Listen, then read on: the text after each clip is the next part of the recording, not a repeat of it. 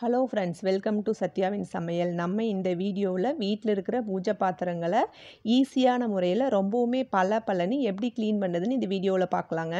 அதுக்காக கொஞ்சம் பூஜை பாத்திரங்களை நான் எடுத்து வச்சுருக்கேங்க. இந்த பூஜை பாத்திரங்கள்லாம் பாருங்கள் எவ்வளோ டஸ்ட்டாக ரொம்பவுமே கலர் சேஞ்சாக இருக்குது இதை விட அதிகமாக டஸ்ட்டாக கருப்பாக இருக்கிற பாத்திரத்தை கூடங்க நான் சொல்கிற இந்த மெத்தடில் க்ளீன் பண்ணிங்கன்னா ரொம்பவுமே பல பலன் ஆயிருங்க.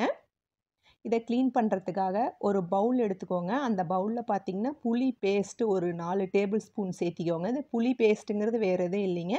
புளியை ஒரு மணி நேரம் தண்ணியில் ஊற வச்சு அது நல்லா கரைச்சி திக் பேஸ்ட்டாக எடுத்துக்கோங்க. அதுதாங்க புளி பேஸ்ட்டு இந்த புளி பேஸ்ட்டு கூடவே மூணு டேபிள் ஸ்பூன் கோதுமை மாவு எடுத்துக்கோங்க. இதுக்கு அளவெல்லாம் கிடையாதுங்க. நீங்கள் எத்தனை பாத்திரம் வாஷ் பண்ணுறீங்களோ அதுக்கு தகுந்த மாதிரி நீங்கள் எடுத்துக்கோங்க. அந்த கோதுமை மாவு கூடவே மூணு டேபிள் ஸ்பூன் அரிசி மாவு எடுத்துக்கோங்க. இது கூடவே முக்கால் டேபிள் ஸ்பூன் சால்ட்டு நம்ம சமையலுக்கு யூஸ் பண்ணுற சால்ட் எடுத்துக்கோங்க. இதை சேர்த்துட்டு ஒரு ஸ்பூன் வச்சு நல்லா மிக்ஸ் பண்ணிக்கோங்க. இப்போ நான் புளி பேஸ்ட் எடுத்த பாத்திரத்தில் கொஞ்சமாக தண்ணி சேர்த்து அதையும் இது கூட சேர்த்துட்டேங்க. சேர்த்துட்டு நல்லா மிக்ஸ் பண்ணிக்கிட்டேன். இந்தளவுக்கு பார்த்திங்கன்னா ஸ்பூன் வச்சு மிக்ஸ் பண்ணிவிட்டு ஸ்பூனை எடுத்துட்டு நல்லா கை வச்சு மிக்ஸ் பண்ணிக்கோங்க. கட்டி இல்லாமல் இந்த அளவுக்கு பார்த்திங்கன்னா நல்லா பேஸ்ட்டாக வந்துடும் இந்த பேஸ்ட்டு இந்த அளவுக்கு வர வரைக்கும் நல்லா கலக்கி எடுத்து வச்சுக்கோங்க. இப்போ நம்ம ஆல்ரெடி எடுத்து வச்சுருக்கிற விளக்கு பிளேட்ஸ் எல்லாம் பார்த்திங்கன்னா ஃபஸ்ட்டு தண்ணியில் நல்லா வாஷ் பண்ணிடுங்க நம்ம வச்சுருக்கிற பொட்டு ஆயிலெலாம் போகிற மாதிரி. நார்லாம் போட்டு தேய்க்க வேண்டியது இல்லைங்க. சும்மா மட்டும் இந்த மாதிரி வாஷ் பண்ணி எடுத்துக்கோங்க.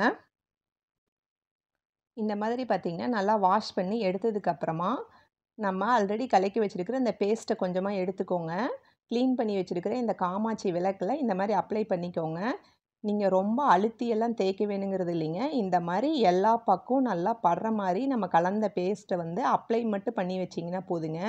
இந்த மாதிரி எண்ணெய் பிஸ்க்கு அதிகமாக இருக்கிற இடத்துல அந்த பசுமையாக இருக்கிற இடத்துலலாம் கொஞ்சம் அதிகமாக இந்த மாதிரி நல்லா அப்ளை பண்ணி வச்சுக்கோங்க.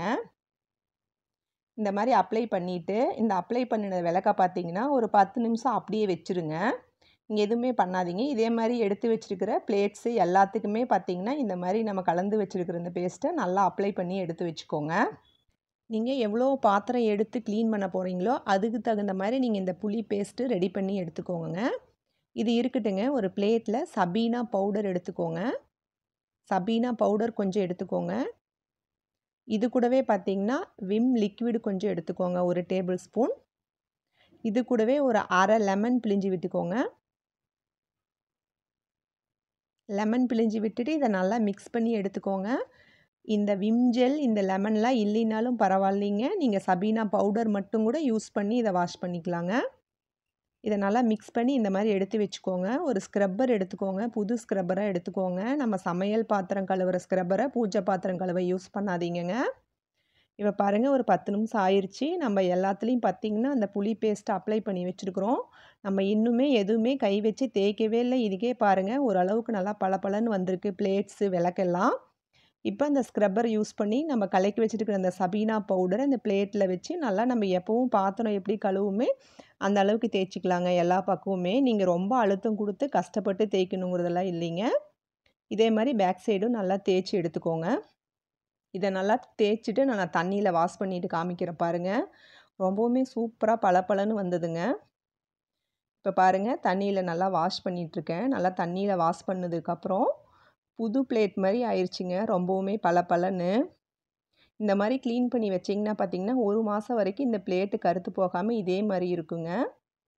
இதே மாதிரி பார்த்திங்கன்னா மற்ற பிளேட்ஸு விளக்கு எல்லாத்தையுமே பார்த்திங்கன்னா ஸ்க்ரப்பர் வச்சு இந்த மாதிரி தேய்ச்சி க்ளீன் பண்ணி எடுத்துக்கலாங்க. இந்த மெத்தடை யூஸ் பண்ணி நீங்கள் பித்தளை பாத்திரம் மட்டும் கிடையாதுங்க. செம்பு பாத்திரமும் இதே மெத்தடில் நீங்கள் க்ளீன் பண்ணலாங்க. அதுவும் பார்த்திங்கன்னா இதே மாதிரி நல்லா பளபளன்னு வந்துடும் இப்போ பார்த்திங்கன்னா காமாட்சி விளக்கு மட்டும் நான் தேய்ச்சி காமிக்கிறேன் பாருங்கள் அந்த சபீனா பவுடர் கொஞ்சம் எடுத்துக்கோங்க. ஸ்க்ரப்பரில் தொட்டுட்டு இந்த மாதிரி லைட்டாக ப்ரெஸ் பண்ணி தேய்ச்சிக்கோங்க. ரொம்ப அழுத்தம் கொடுத்து தேய்க்கணுன்னெல்லாம் அவசியம் இல்லைங்க. ரொம்ப இந்த எண்ணெய் பிசுக்கு இருக்கிற மற்ற இடத்துல மட்டும் நல்லா லைட்டாக ப்ரெஸ் பண்ணி தேய்ச்சிங்கன்னா போதுங்க இந்த அளவுக்கு. தேய்ச்சிட்டு இதை நல்லா தண்ணி வச்சு வாஷ் பண்ணிக்கலாங்க. நான் வாஷ் பண்ணிவிட்டு காமிக்கிறோம் பாருங்கள் சூப்பராக பளபளன்னு வந்துருச்சுங்க. புதுசாக வாங்கின விளக்கு மாதிரியேங்க. இது புது விளக்குலாம் கிடையாதுங்க. நான் ஒரு பதினஞ்சு வருஷமாக பார்த்திங்கன்னா இதே விளக்கு தாங்க யூஸ் பண்ணிகிட்ருக்கேன் இந்த மெத்தடு யூஸ் பண்ணி க்ளீன் பண்ணிங்கன்னா ரொம்பவுமே புது விளக்கு மாதிரி ஆயிருங்க. பாருங்கள் எல்லாமே க்ளீன் பண்ணி எடுத்துகிட்டு வந்தாச்சு. நான் க்ளீன் பண்ணுறதுக்கு முன்னாடி உங்கள்கிட்ட காமிச்சிருப்பேன். இப்போ க்ளீன் பண்ணுறதுக்கு அப்புறமும் காமிக்கிறேன் பாருங்கள் எவ்வளோ பளபளன்னு வந்திருக்குதுன்னு சொல்லிட்டு. இப்போ இதெல்லாம் க்ளீன் பண்ணிட்டு வந்ததுக்கப்புறம் பார்த்தீங்கன்னா அப்படியே விட்டுறாமல் ஒரு காட்டன் துணி வச்சு இது மேலே பார்த்தீங்கன்னா அங்கங்கே தண்ணி புள்ளி புள்ளியாக இருக்கும். அது ஒரு காட்டன் துணி வச்சு இந்த மாதிரி நல்லா தொடச்சி எடுத்துக்கோங்க. அப்படியே விட்டுட்டோம்னா டாட் டாட்டாக அப்படியே படிஞ்சிருங்க. நீங்களும் நான் சொன்ன இதே மெத்தட் யூஸ் பண்ணி கையே வலிக்காமல் உங்கள் வீட்டில் இருக்கிற பூஜை பாத்திரத்தையெல்லாம் ஈஸியான முறையில் க்ளீன் பண்ணிக்கோங்க. இந்த வீடியோ பிடிச்சிருந்ததுன்னா ப்ளீஸ் ஒரு லைக் பண்ணுங்கள் இந்த வீடியோவை உங்கள் ஃப்ரெண்ட்ஸ் அண்ட் ஃபேமிலிக்கு மறக்காமல் ஷேர் பண்ணுங்கள் நம்ம சேனலை சப்ஸ்கிரைப் பண்ணி வச்சுக்கோங்க. Bye thank you